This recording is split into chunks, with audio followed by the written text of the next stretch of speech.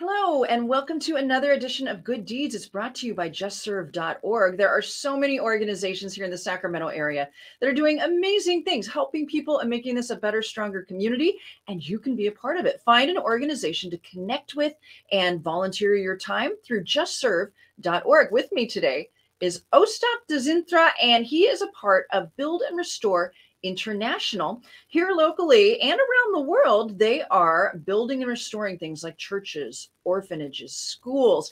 Thank you for being on Good Deeds and thank you for the work that you're doing. Yes, thank you, Sheryl. Thank you for having me.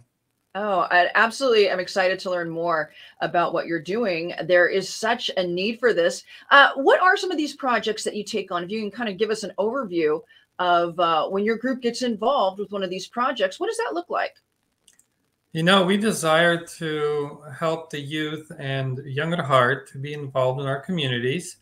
And so we have practical life skills that we can learn together as we paint, as we fix, as we change out the flooring, as we update the facilities, whether we're downtown or Carmichael or Citrus Heights and beyond. You know, we have projects up in the mountains near Lake Tahoe and different areas where simple people can come together and make extraordinary projects with you know us working with our hands and our feet. That's awesome. So if i as someone who would like to learn a skill like uh, maybe flooring let's say i want to someday replace flooring could i actually learn this through volunteering with build and restore? Yeah you'd join us on a week-long project and we would take you step by step and we would work on a project together and have hands-on training and uh, you would know from beginning to end what it takes to install a floor, to paint a room, to change out fixtures, whatever it takes. That sounds fantastic and, and something that I would definitely be interested in. And in the process, you're helping people that really need it. How do these projects come to your attention?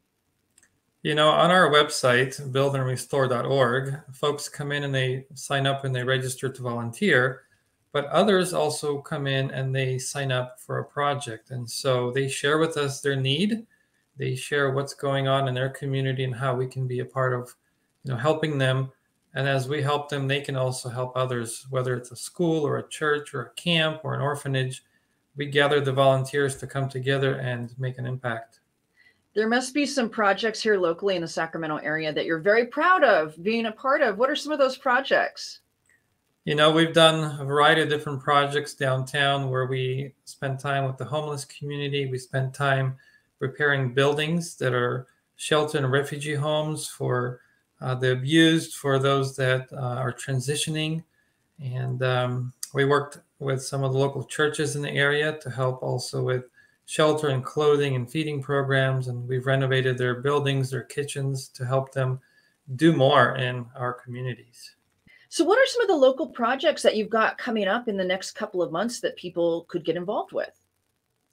You know, we have a variety of things that happen throughout the year. Like, for example, if a fence blows over at a local church and they're strapped for, you know, volunteers to, to help, we get a call and we mobilize a team to go and help put up a fence for a church.